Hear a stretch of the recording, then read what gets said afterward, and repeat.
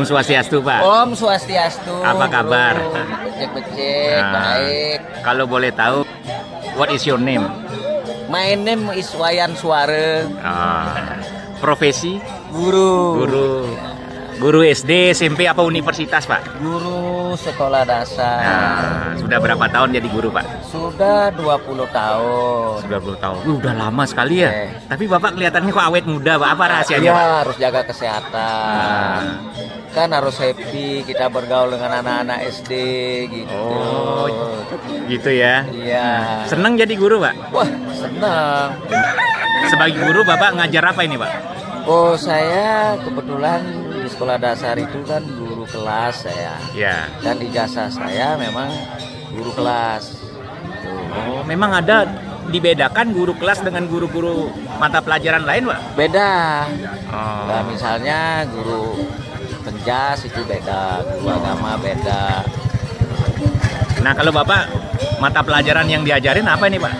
Mata pelajaran yang saya ajarin itu ya bahasa Indonesia, IPA, matematika, IPS, PKN. Nah, lima mata pelajaran. Uh, banyak pokok. sekali Pak. Iya. Bagaimana caranya menghafal pelajaran itu begitu banyaknya Pak? Kita tidak usah menghafal, kalau guru tidak ada menghafal. Kita kan sudah tahu konsep-konsepnya terkait dengan mata pelajaran tersebut. Cuman kita bagaimana mentransfer eh, konsep tersebut kepada anak didik. Oh gitu, mentransfer Ya, ilmu iya, gitu ya. mentransfer ilmu. Kalau mentransfer uang itu pernah nggak Pak? Oh, pernah, terutama ke bank ini bayar utang.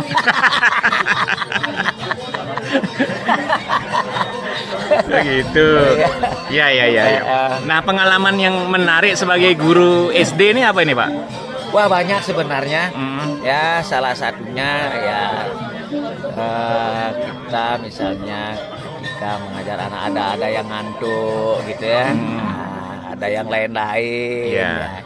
Ini menarik buat saya gitu Iya. ya. Eh, bagaimana mengatasi anak-anak seperti itu gitu. Nah, Ya, yang kita- mengantuk itu? Iya, terutama yang mengantuk. Biasanya kalau yang mengantuk itu Bapak bilang apa sama dia Pak? Digetok nggak tangannya? atau Enggak, Dicubit gitu? Enggak, ya. Ah. Kalau yang ngantuk paling kita panggil namanya gitu. Hmm. Nah, ngapain ngantuk? Suruh aja nyanyi biar happy gitu. Oh. Iya. Jadi kalau ada muridnya ngantuk disuruh Nyanyi nyanyi. aja biar happy. Nah, kalau ada yang bolos gitu Bapak apain Pak? Nah, yang bolos ini ya ini perlu mendapat perhatian khusus ini. Apa sebabnya dia bolos? Pasti ada alasan. Guru itu harus mengetahui apa karakter daripada siswa tersebut Iya. agar kita benar-benar mendapatkan solusi atau mengatasi anak-anak yang suka bolos sehingga dia gitu. menjadi rajin gitu. Nah, kan saya sering dengar ini ya teman-teman kita di sini mungkin pernah mendengar kan gitu. Ya. Ada guru yang apa namanya uh, dipukul sama orang tua murid ya gara-gara misalnya gurunya itu menegur anak, mendisiplinkan anak didik kan gitu. Tetapi ada anak itu tak terima, orang tuanya juga nggak terima gitu. Oh, iya, nah, iya. pernah mengalami kejadian seperti itu, Pak? Oh, kejadian seperti itu selama saya menjadi guru nggak pernah. Oh. Ya, kita selalu apa namanya ramah terhadap anak seperti yang saya sampaikan tadi. Kita harus mempelajari karakter setiap anak kan berbeda. Ya. Gitu. Jadi mendidik anak itu nggak boleh dengan kekerasan. Harus eh, apa kita berikan tugas misalnya gitu. Oh, Dan gitu. kita selalu harus menjalin hubungan juga dengan orang tua murid, komite sekolah, itu harus apa namanya ya kita selalu berkomunikasi terkait dengan anak-anak mereka. Oh, gitu. Ya. Jadi ada unsur psikologi juga dalam kegiatan Bapak sebagai guru ini, Pak? Betul, psikologi itu penting karena Hmm. kita itu harus mengetahui dan tahu karakter setiap siswa karena kebutuhan siswa itu kan berbeda. Hmm. Asal usul siswa itu kan berbeda.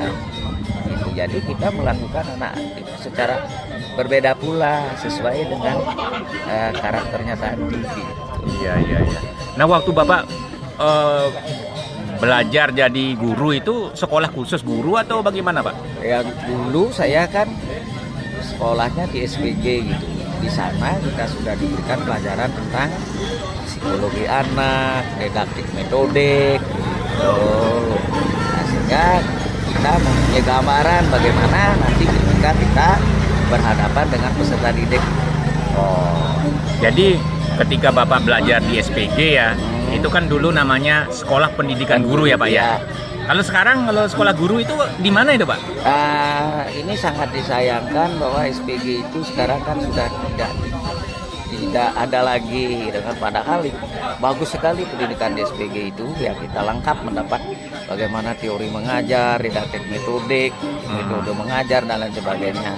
Nah, tetapi sekarang nggak langsung jadi S1 gitu. Oh, S1 kalau zaman sekarang bukan SPG. Ya. Harus S1 Iya, gitu. S1 Oh, dengan gitu. jurusan ya ada jurusan umum dan ada jurusan sekolah dasar. Oh, iya iya iya iya. Nah, Pak Bapak ini kan termasuk guru senior. Berarti kan juga Bapak punya guru-guru junior kan gitu ya? Iya. Nah, jadi mereka sekarang rata-rata S1, Pak ya? Rata-rata sekarang wajib Wajib. wajib itu S1. Hmm. Ya. Nah, kan zaman sertifikasi juga ini untuk semua profesi nih, Pak. Ah, Termasuk ya. para pendidik, Iya. guru Ya. dan sebagainya. Nah, Iya. Bapak sudah ikut sertifikasi sebagai guru, Pak? Sudah, sudah tahun Hmm. 2010 saya sudah sertifikasi. Ya, kita mengikuti lagi untuk jenjang sertifikasi itu harus mengikuti PLPG namanya. Iya. Ya. Pendidikan latihan guru profesional gitu. Iya, iya, iya, iya.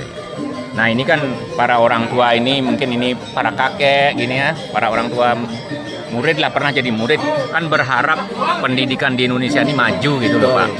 Nah, barangkali Bapak ada pesan untuk Menteri Pendidikan Nabil Makarim atau Presiden Jokowi gitu ada saran nggak, Pak? Ya, saran saya begini, selama ini kan selalu gonta-ganti kurikulum gitu. Hmm. Nah, sehingga guru itu pun harus belajar tentang kurikulum baru.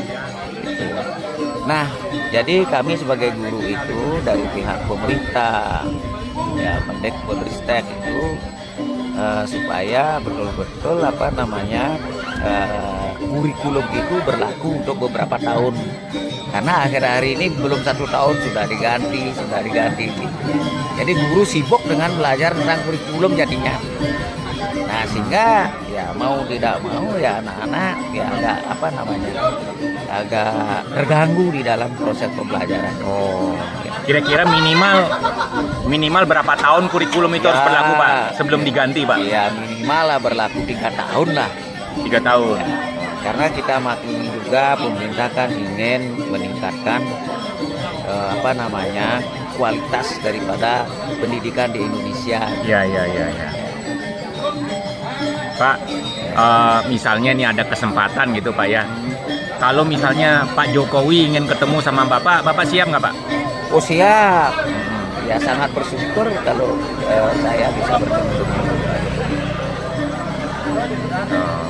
Nanti kalau misalnya jadi gitu bisa ketemu dengan Pak Jokowi pas Pak Jokowi datang ke Bali gitu Ah, misalnya. ya sangat bersyukur saya berharap bisa ketemu. Bapak mau bilang apa sama Pak Jokowi nanti Pak? Ya saya mau bilang ya terima kasih atas kemajuan-kemajuan yang diraih selama pemerintahan Pak Jokowi. Terima kasih Bapak Guru, semoga Bapak juga menjadi bagian penting dari Ya. pendidikan di Indonesia ya. Tentu saja Ya. Pak. Ya. Selamat Saya bertugas ya Pak. Ya terima kasih kembali Pak.